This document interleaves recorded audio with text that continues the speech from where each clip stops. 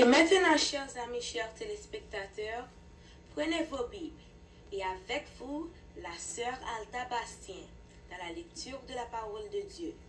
Que le Seigneur vous bénisse.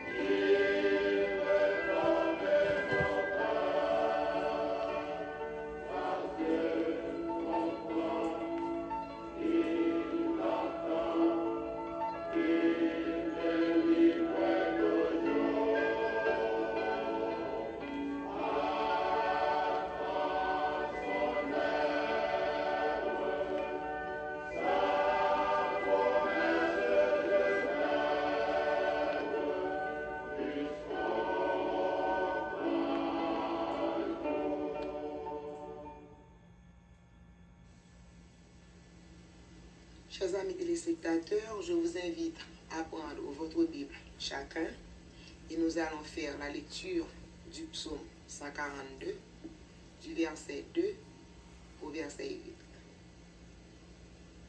Le psaume 142. Lisons. De ma voix, je crie à l'Éternel. De ma voix, je supplie l'Éternel je présente ma requête devant lui. J'expose devant lui ma détresse. Quand mon esprit est abattu au-dedans de moi, toi, tu connais mon sentier. Sur la route où je dois marcher, ils m'ont tendu un piège. Regarde à droite et vois, personne ne me reconnaît. Toute fuite m'est impossible nul ne s'inquiète de ma vie. Éternel, c'est à toi que je crie. Je dis, tu es mon refuge, mon partage sur la terre des vivants. Sois attentif à mon cri, car je suis très affaibli. Délivre-moi de ceux qui me poursuivent, car ils sont plus forts que moi.